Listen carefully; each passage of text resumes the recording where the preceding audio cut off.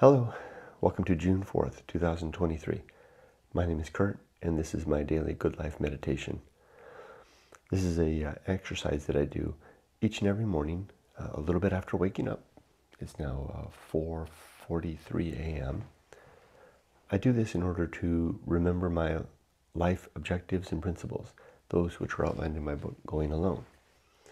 I also use this time to uh, think about the last 24 hours and whatever challenges and opportunities were of note that I met and how I handled these and if I was able to make uh, a better use of the day. And then I finish by uh, thinking about the day to come and how I will, uh, whatever opportunities and challenges I might meet, so that I can uh, prepare myself to address those. I also kind of run through a rough agenda of, of what I think I'm going to do today. So I'm planning it out. Let's begin. First, last night and yesterday. I slept all right last night, um, but again, I'm not feeling rested. I got to bed uh, pretty much on time, uh, had a good sound night's sleep, woke up with the alarm. Haven't had any uh, anxiety waking me up before the alarm for a long time now. I slept pretty good, but I, I don't feel rested. I've even had a full cup of coffee now, and uh, I'm still not rested.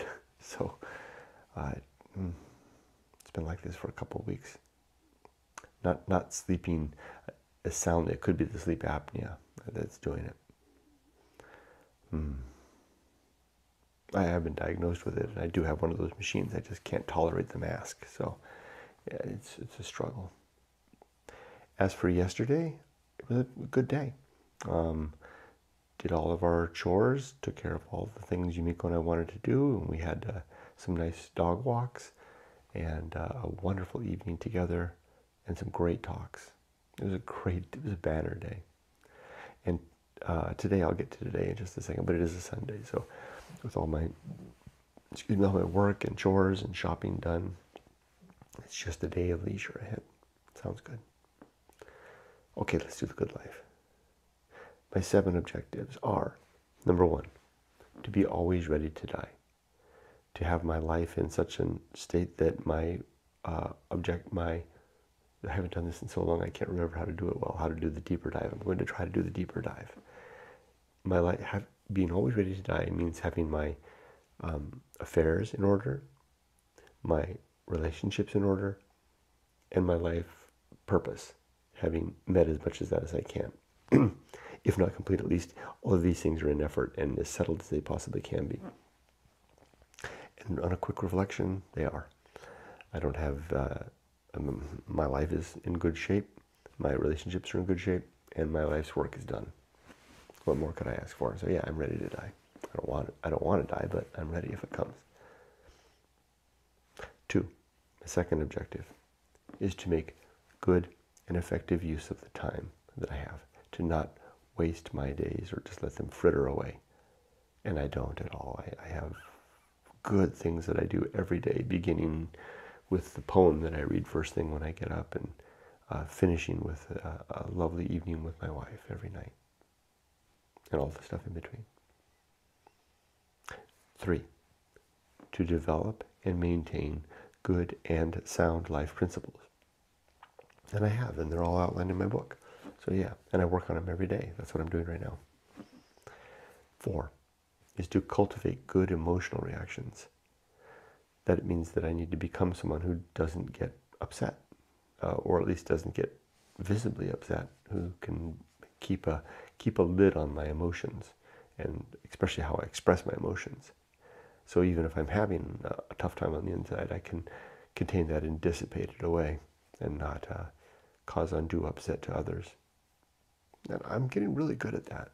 It's pretty rare that I have visibly, outwardly upset moments and they don't bottle up inside because I deal with them in other ways. I deal with them by thinking about them and relating them here uh, and working them out. It's an effective approach. Five is to uh, perform good actions, just to do good things throughout the day. Big things, little things, medium things too. Number six is to recognize my true limits and my true opportunities so that I'm applying myself where I can actually do some good and not wasting my energies on things that uh, are beyond my reach. I shouldn't even be uh, uh, expending thought on things that are other than the initial you know, assessment. Once I assess something that's beyond my reach, then uh, I can let it go. It's a very stoic approach, or at least accept whatever is happening with that thing beyond my reach as what is happening. And then lastly, the uh, number six is to do just one thing at a time and do that thing slowly and deliberately and carefully. To be a measured, careful, uh, patient, and deliberate man. I'm getting better at that. Okay, those are my seven objectives. Those are the things that I'm striving for each day, the ends that I hope to achieve. Some of them are states of mind, states of being. Some of them are objectives in their own right or the uh, character and uh, form of some objectives. Together they form my, my life mechanism. Now for my principles. And the principles are distinct from the objectives because whereas the objectives are ends, the principles are tools that help me with the means of, get, of achieving those things. There are 34 of them, and the first of these is called war. It's just a simple word that refers to my effort to be always at war with anything important that I already believe is true or that is proposed to me as something that I should believe is true. Why would I be at war with such things? Well, because I simply want to ascertain if they really are true. I don't want to believe or hold on to a belief that may be wrong. So I fight with it in a, in, in a nice way. It's like a wrestling match. See if uh, I can make it cry uncle. How do I do that? Well, that's number two. The second uh, principle is the principle of reason. I use reason as my uh, instrument of this aforementioned war. And reason has three or four sub principles honesty, objectivity, doubt, and humiliation. Being honest with myself and others. Objective in my worldview, looking at many angles, from many angles.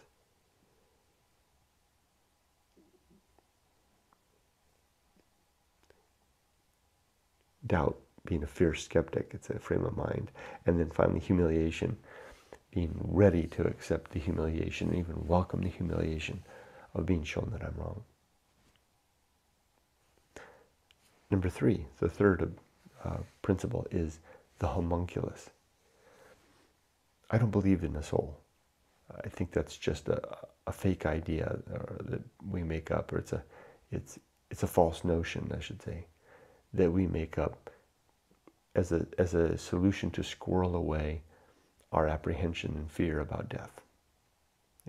We can use the soul as a vehicle to save ourselves. And it's, it's a comfort, but I don't think it's true. There's no, absolutely no good reason to think so. If you apply reason to this, there's no good reason to think it's true. And so the yield and, and result of the, of, of the war against, of my war against this is that it's not true. Um, so then what? well, what do I what do I focus on if that's the case? As my uh, as my kernel of being can't be a soul because that's not true. So what else could it be? I choose what to select something that clearly is evidently something that's real. My consciousness. I, I can't get away from the fact that that seems to be a fact, unless there's some some greater mechanism of the universe going on that's beyond my understanding. But even if that's the case, it seems like I'm here. um, so I labeled the consciousness the homunculus, which if you look up the word, it simply means uh, used to be an adherent, a religious adherent that would hold themselves away in a little cell walled into the side of a church, in a medieval church, with a little hole called a squint that they would peek through and watch the service, and through which food could be and water could be put in, waste products pushed out. It was an interesting thing, the homunculus, the person that is trapped within. And that's why I use this term, because I feel like I my consciousness is trapped inside my skull, right around right behind my forehead, looking out through my eyes and listening through my ears and feeling with my fingers. You get it. So but the key is being trapped. And that's the next principle, the principle of the anchorhold. The homunculus is trapped within that little cell, which in the medieval terms, the homunculus, the little cell that they would create at the side of the church, they called that the anchorhold. Uh, they also called these people anchorites, or, anch- or and women were anchoresses, and they would be celled into their little anchorage, anchorhold, they called it.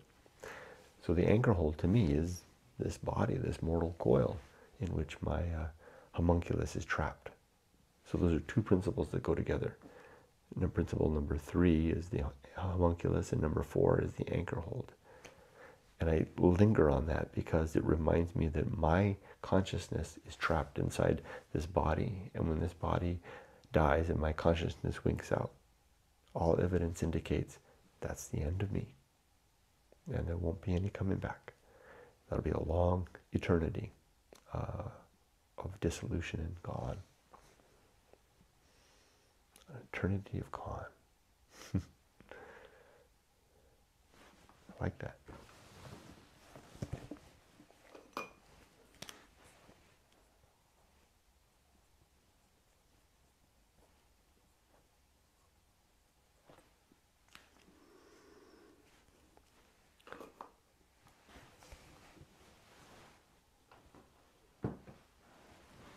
Next comes the principle called uh, purpose. My purpose in life are threefold. One, to be a good husband and father that fulfills what I call my biological mandate. Two, to be a virtuous man, seeking out the improved well being of thinking creatures. That's how I define virtue, basically. And then three, to fulfill whatever personal purpose I assign for myself, which for me is my uh, book, Going Alone, and sharing the message therein. Because it is a message of improved living, and uh, I think it's worthwhile to share. Next comes the principle of, uh, called the atomic principle. Everything in the universe is made of bits and pieces, atoms and molecules that are coming together, operating for a bit, and then dissolving away. Uh, so too you and me. Each of our bodies is made up with atoms, molecules, and compounds that will uh, disintegrate away when we die, or be burned up, or, or uh, you know, rot away, however the case may be, whenever we wind up and dead and done. And that's good to remember that. Then comes the principle of nature. Not nature like birds and bees, but nature like the way things are. And this is my reminder, this principle, that everything and everyone has some particular nature, some way that they are, some inertia that they uh, maintain. And if I can recognize what that nature is and then expect it, then I can live in better accord with that. So I spot something now that I can help me with. I'm a little bit anxious this week going into the work week because I have a meeting uh, with someone who whose nature is unsettling to me. And using my own principles, I have to remember that that person's nature is such that they, the true limit is that I can't change their nature, but the true opportunity is that I can find a way to uh, accept that that is the way they are, and then operate effectively uh, in in with that fact in mind. Hmm, that'll help me. So I'm using the principle of nature then to help me to achieve the objective of recognizing true limits and true opportunities. Here comes the dog. Hi. The next principle is called uh, the pirate ride. the pirate ride is my simple reminder and suggestion that free will is an illusion. Suggestion because I can't prove that's the case. Nor do I believe that anybody else can prove that free will does exist. Yet I believe it does not exist. I know, I know, I, um, the principle of war and reason would suggest that I should give up this notion and just call this uh, terra incognito, a part of the map that I can't see, but I choose not to. I just have a gut feeling that it does not, free will does not exist. I hold that opinion and notion, gulp, on faith, which is something that I view as a sin, faith itself. I'll get to that. Hmm. So there you go. If free will isn't real, if free will isn't a thing, then what?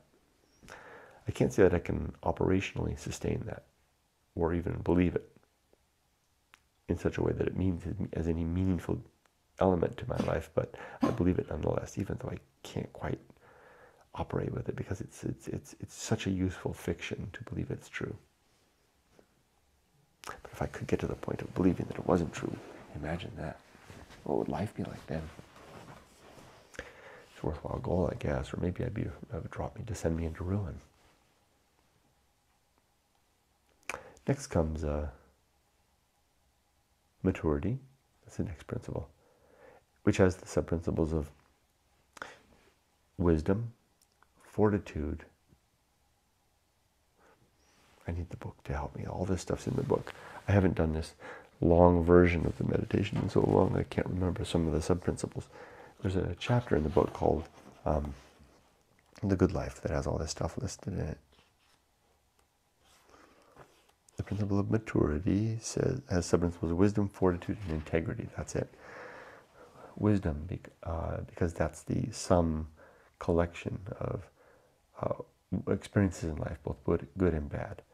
Fortitude is our endeavor and effort to not repeat our mistakes, but to further our better decisions. And integrity is the life of uh, balance that we enjoy, where our actions are in alignment with our, our uh, what's important to us, our values.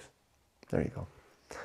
Next comes the social principle which has the sub-principles of diplomacy, justice, and conspiracy.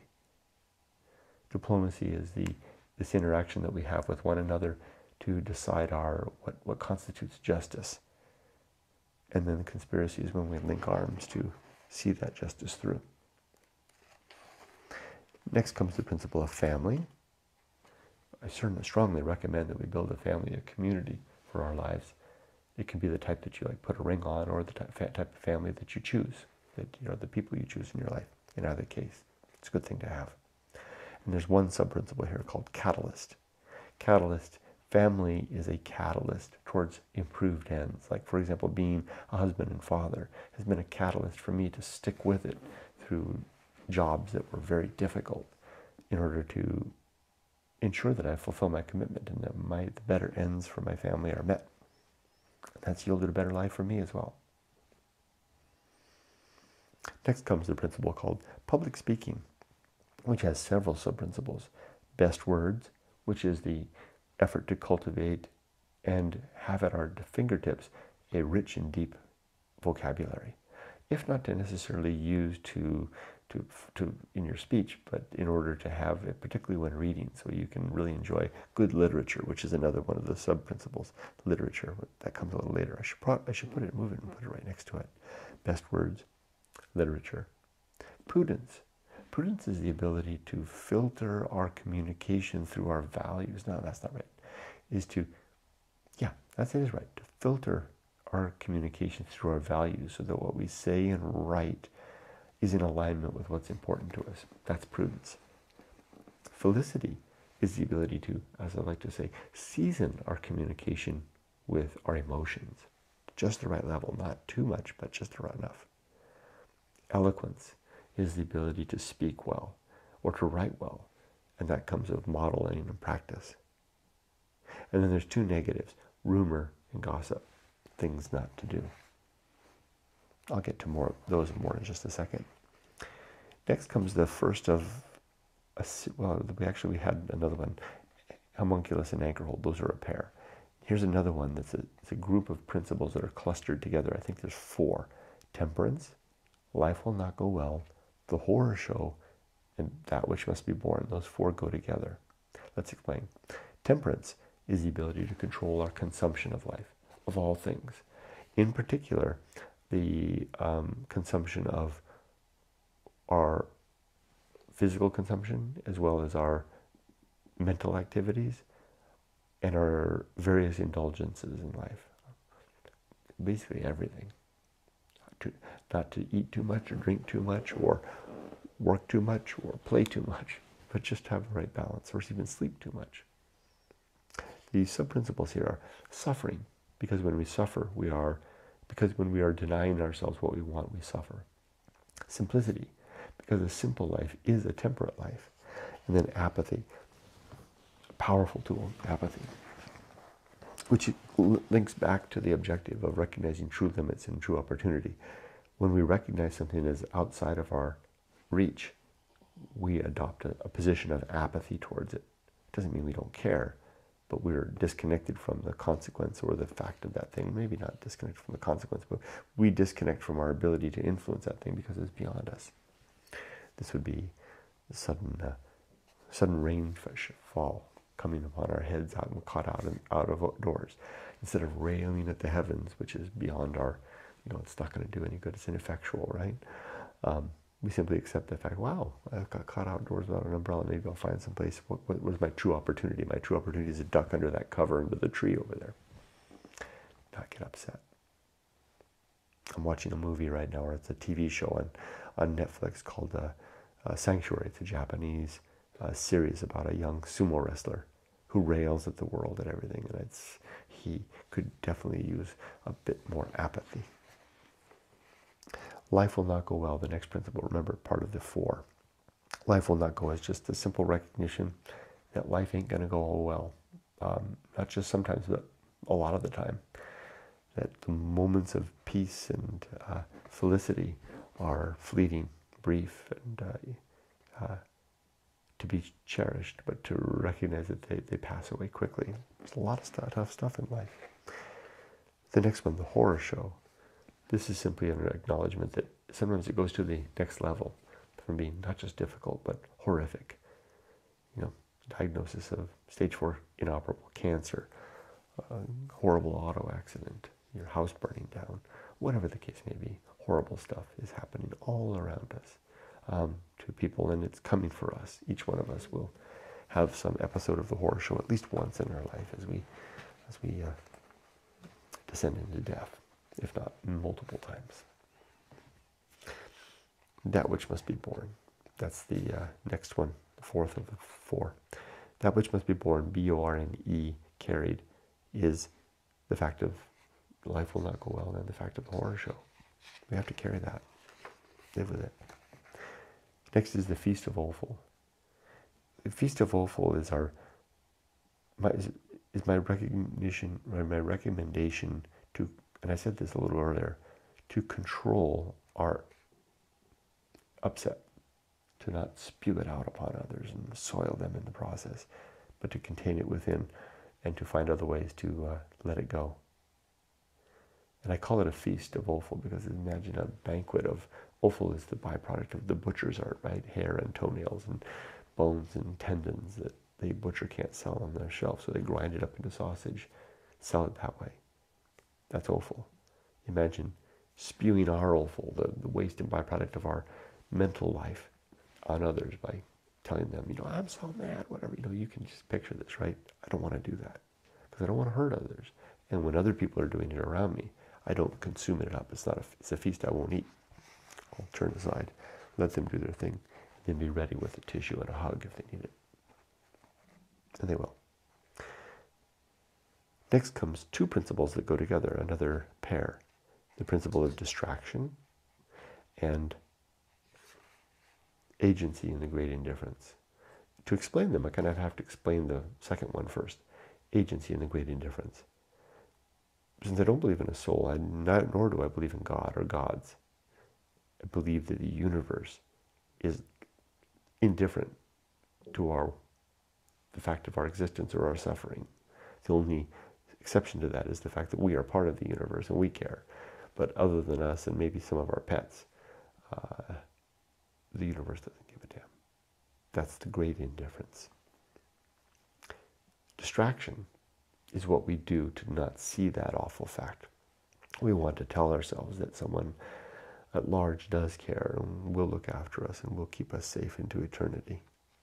And so that's the distraction that we engage in with our, our school and our hobbies and our job and our family and our religion and our sports and our God. We distract ourselves the live long day. And I think that's an unworthy endeavor.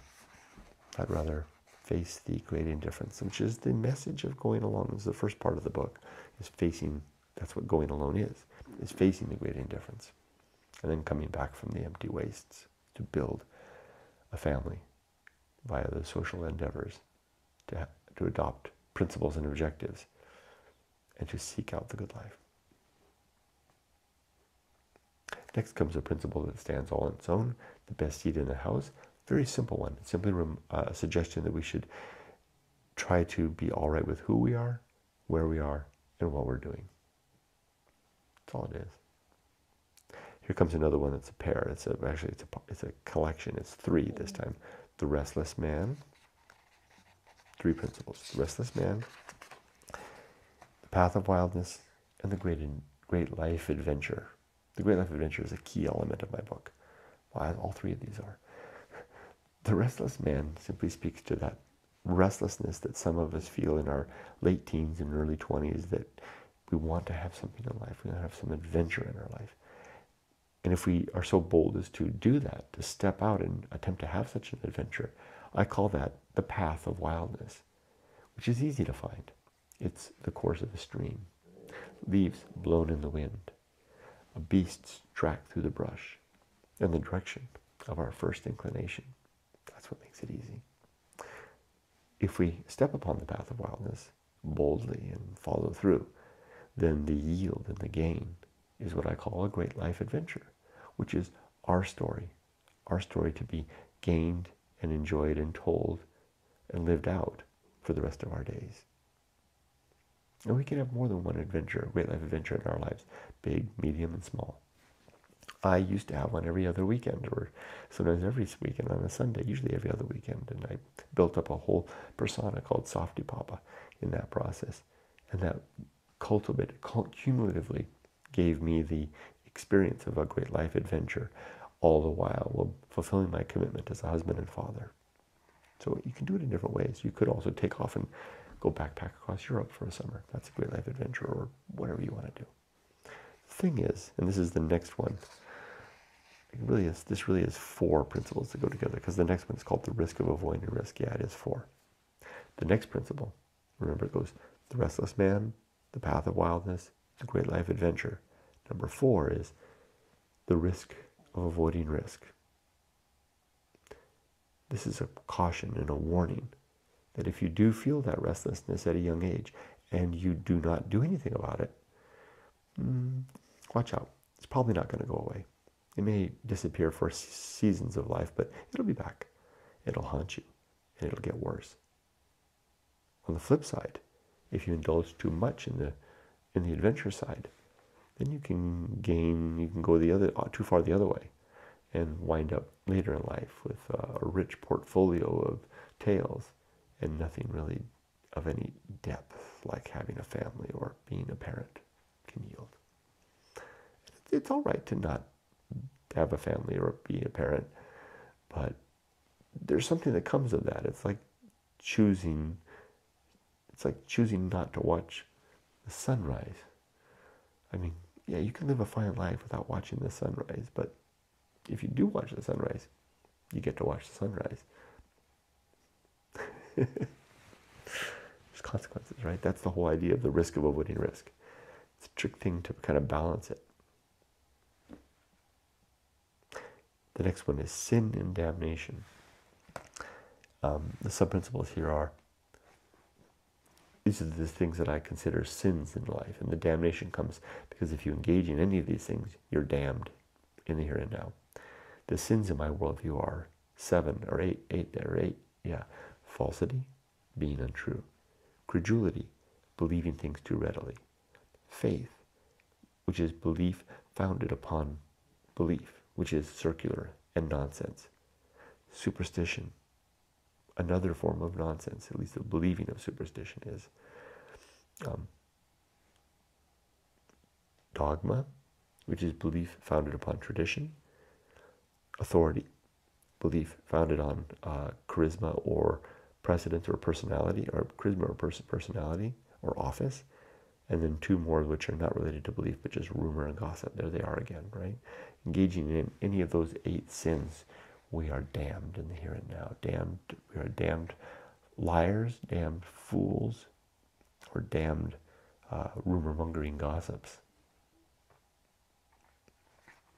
The next principle is called the complete oblivion. My proposition that since we don't have a soul isn't real, there is no God after death. That's oblivion that awaits us. There will be no reunion with our, no final reunion with our loved ones, no chance for final reconciliation, and no chance for final justice.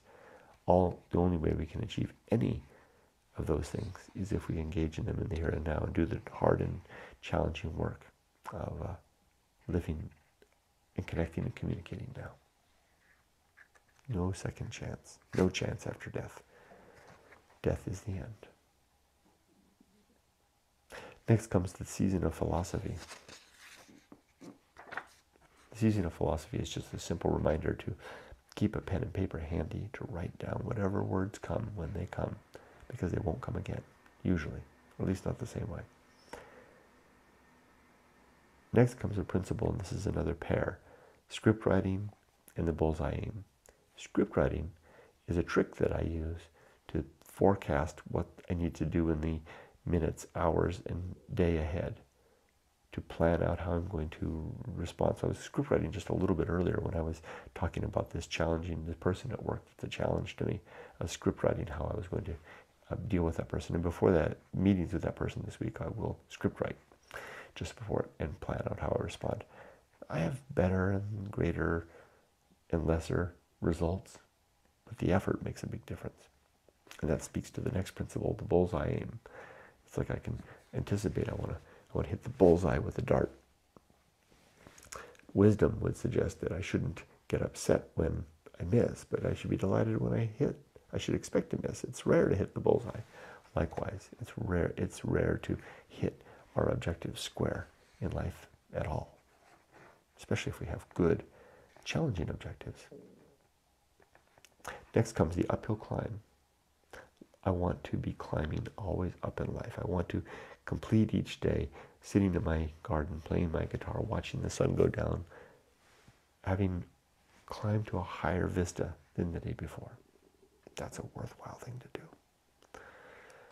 The sub principle there is the open ocean swim. It's for more for me, that's a principle, because I like to swim in the ocean, at least I used to. Next comes arena and utility. That's another principle. Life is this arena where we live. And the principles that we'd adopt, you can have mine if you like, or you can develop your own, are the uh, utility, the tools that we use to live well in this arena. And then just two more left. Nothing is enough. A very, very potent principle that I, I can't quite, haven't quite opened the lid on, but I know there's a lot in there. I think I'm going to wait until I get to Japan to really begin exploring that. Um, but in a nutshell, it's simply a suggestion that less is so often more, as we like to say. And finally, the principle of fun. That's number 34. And the sub principles of hope and retrospect. I used to think hope was a bad thing. I don't anymore. Hope is the thing that gives us the, the boost and the catalyst. It's the octane in our fuel to carry on. And the principle of fun suggests that we should um, enjoy today and enjoy the remembrance of yesterday and enjoy the planning of tomorrow. It makes me smile just thinking about it.